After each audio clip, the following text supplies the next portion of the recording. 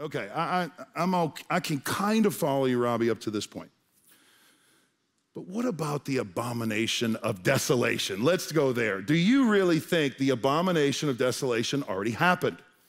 And the answer is yes, because it's inside that inclusio. Look at verse 15. This is the abomination. And for years, we've, we've thought this is like the during the tribulation, that horrible time when abomination of desolation. By, by the way, I don't have time for this, but I'll say it anyway. I probably shouldn't say that. We will never finish the sermon. Just, we'll never finish. Sorry. That's the Holy Spirit saying goodbye. Okay, verse 15. It's about the temple. We'll get, we'll get, believe me, every question you have, I'm gonna try to answer in, over the next three years. Okay, verse 15. I mean, literally, I thought I was gonna be, ask Robert, I thought we were gonna be in and out by the summer, maybe the fall. No. Okay, verse 15. Okay, so might, yeah.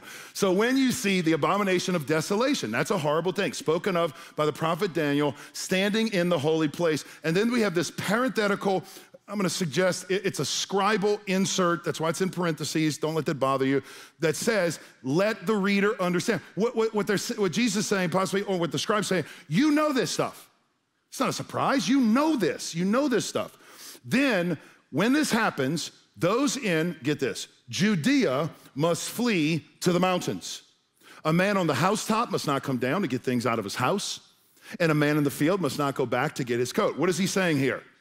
When this happens, run for your life, right? Like it's going to get bad. Now, if you're like me, I was taught this is some future catastrophic, cataclysmic event that's gonna happen right before the end of the world. Now, we already know that's not the case. Why? Because Jesus is answering a question the disciples posed about what? When is what? The temple going to be destroyed? Now, I know what you're thinking. I'm not too convinced. Well, let's listen to what Luke says. Because Luke helps us here. Luke is a contemporary of Matthew, writing a gospel, same accounts from different perspectives. Watch how Luke helps us here. Luke chapter 20, go back, I think it's 22. 22? 21, I'll follow 21, verse 20. When you see Jerusalem surrounded by armies, what he's saying is when the Roman army comes around the city, recognize that it's the desolation that has come near. So he, he gives us contextual, and look at the next thing. Then those in Judea, when you see this, flee to the mountains. Those inside the city, leave it. Those who are in the country must not enter it, because these are days of vengeance to fulfill all the things that are written. So here's what Luke tells us.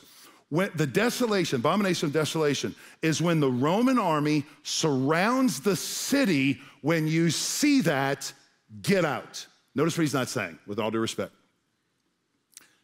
He's not telling modern day American Christians to build bunkers in the ground, to get your gas mask ready to store up six months of food for a coming apocalyptic uh, Armageddon that's gonna take place on earth. And so burrow yourself underground and wait. I promise you, he's not saying that at all. Here's what he's warning those people to do in that generation. When you see this, run for your life, run for the hills of Judea. Don't pass go, don't collect $200, get out right there. Don't even go back. It's comical, but, but I wanna say this. Jesus cannot, you would agree, he cannot be envisioning a group of Western Christians, when they hear about the tribulation, booking tickets to Israel so that they can, when the tribulation arrives, hide in the hills of Judea. Real? I mean, I say that jokingly. Y'all okay? Everybody okay? I say that as a joke, but, but, but listen, listen, it's simple, right? It's simple. Jesus is giving a command geographically to a group of people who understood it perfectly. Now, here's the million dollar question Did that really happen? Did it happen? And the answer is absolutely. Josephus is our friend. If you want to go back and, in fact, I would take the book, uh, the, the, the, writings of Josephus, if you're interested, and take Matthew 24 and even Revelation when we get there, and you could see all these events happen. Josephus is a first century Jewish turncoat, he's a Jewish man by birth, turns on the nation, works for the Roman army so he could save his life, and becomes a historian as an eyewitness to everything in the first century. So he was there. Here's what he said about this All hope of escaping the city was now cut off from the Jews. Together with their liberty of going out of the city, then did the famine widen its progress and devoured the people by whole houses and families. Whole families died. The upper rooms were full of children and women that were dying by famine, and the lanes of the city were full of the dead bodies of the aged. The children also and the young men wandered about the marketplace like shadows, all swelled with the famine and fell down dead wheresoever their misery, misery seized them. Horrific. I mean, I could tell you story after story. I read just, just painstakingly going through this. Women, one woman killed her own child because she didn't want to surrender to the Romans, boiled it and ate it. I mean, that's the kind of stuff. Is that the abomination of death? Absolutely. And then in verse 21, Jesus says this, and this is the promise. Jesus says, There will never be, for, for at that time, there will be great distress. Now, the CSB soft plays this word. The word here is tribulation, right in your Bible. The word here is tribulation, the King James Version. There will be this great tribulation, where we get this. The kind that hasn't taken place from the beginning of the world until now. And here's the line that got this right here changed my whole perspective, by the way. This line right here. A tribulation that's coming to the earth, the destruction of the temple, that has never taken place from the beginning of the world until now, and what? Never will again.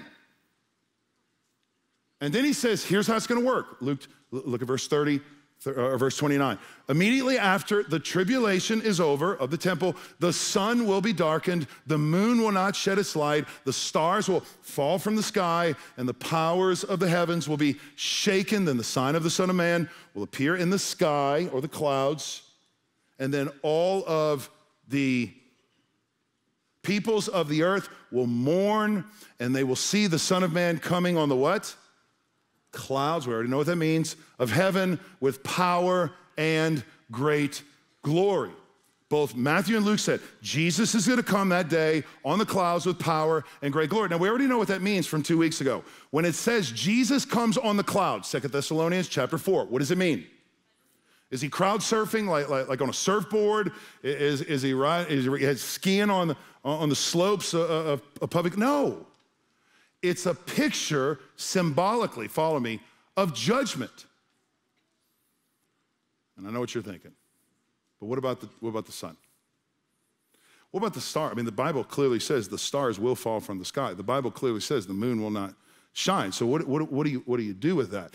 Well, the answer is that is symbolic, apocalyptic language. I'm going to show you, I can show you more, but I'm going to show you for time two See, that's the hardest part each week of the sermon. How much do I have to show you to prove that? Not making this up. I wish we need two hours, but I'm just gonna give you two, but I can give you more. I'm gonna show you two examples in the Old Testament where God uses this language verbatim for judgment. The first one is Ezekiel talks about God's judgment against Egypt back then. This is what's gonna happen. Watch this Ezekiel 32 7, look it up later. When I snuff you out, Egypt, I will cover the heavens and darken their stars.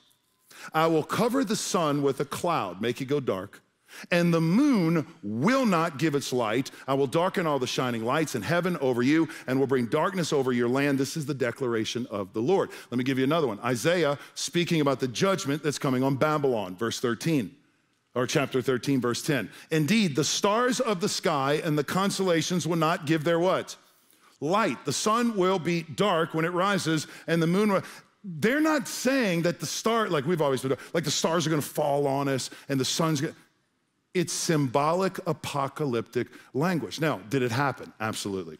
According to Josephus, when the Roman army invaded Jerusalem and took over the temple, guess how many Jews died in that siege?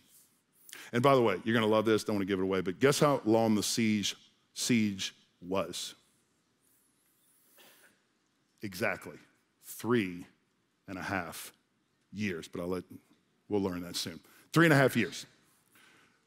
One million Jews died, 97,000 were taken, taken captive. They were made a laughing stock uh, of, the, of the community. They, they, they laughed at them, they, they, they made a carnival scene of them. And then Jesus says, This is the great tribulation. There will never be another what? Tribulation like this again. So the question is, is Jesus telling the truth? Because at first you may say, well, well, what about the what about the Holocaust? Like surely that was greater than this. And it was in death. Six million Jews, one million uh, died um, in, in the destruction of the temple. But Jesus' point is not about scope of death. When Jesus says there'll never be a tribulation like this, he's talking about the significance of the impact. Because there are a lot of people died in World War I, World War II, uh, the Vietnam War, Vietnam. I mean, you put all those together, Korean War, they're all put together. Jesus is talking about the scope of the death, no, not the scope of the death, but the significance of the impact it caused in the nation. Here's why they could not fathom a temple not standing in the first century. You're gonna realize, here's a video I wanna show you. The temple, according to many people back then, was one of the wonders of the world. Some called it the eighth wonder of the world. Uh, one, one scholar said, one rabbi in the Mishnah said, He who has not seen the temple has not seen one of the most beautiful buildings in the world. Jewish life centered around the temple. It was the epicenter of everything. Every festival you went to, you went there to the temple. Every time you offered a sacrifice at the temple, forgiveness of sin at the temple, uh, you being pardoned from your iniquity at the temple. That's how you connected with God. That's how you prayed. That's how you sought the presence of God. That's where heaven and earth met. To lose the temple, don't miss this, you lose everything. You lose history, you lose your heritage, you lose your identity. I don't know any way to compare it closely, but if you lived in Dallas, Texas, imagine not having the Cowboys, America's team, right? I mean, that'd be a tragedy, right? Or imagine America without a, without a White House. Well, okay. But